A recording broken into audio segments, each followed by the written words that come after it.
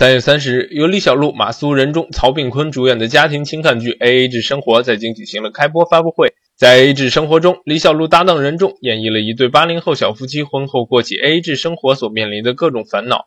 而现实生活中的李小璐看起来却对 A A 制并不怎么在意，也要分分情形吧。对，就是虽然刚才是只是一个做游戏哈，但是就是说，如果真的是，呃，任何两方任何一方出现困难的话，我相信对方都会，既然两个人是一家人了，都会去去呃出手，然后去就是出钱呐、出力也好。我觉得对我来说不会分那么死。在不久前，李小璐还被爆出好事将近，有望在年内步入婚姻的殿堂。但在当天接受采访时，李小璐却否认了这一消息。不过，李小璐并未将话说死，而是表示，如果两人准备好了，会告诉大家好消息。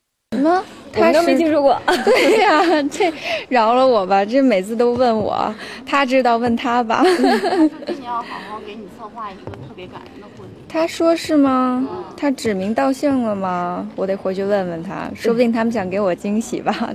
对我这，你看我两手空空，还没有好消息会告诉大家。自己什么想法呀？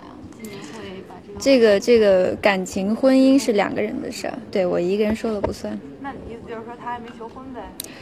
不是这个这个东西，就是我希望就是两个人准备好了，然后再说。然后没准备好的话，就说就是没，就等于欺骗大众嘛。酷流娱乐北京报道。